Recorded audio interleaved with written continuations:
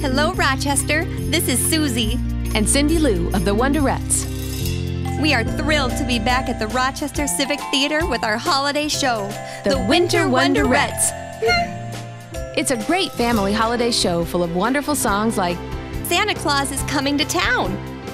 Jingle Bell Rock, Winter Wonderland, and many more. So get your tickets now before it sells out. And we'll see you at the Civic.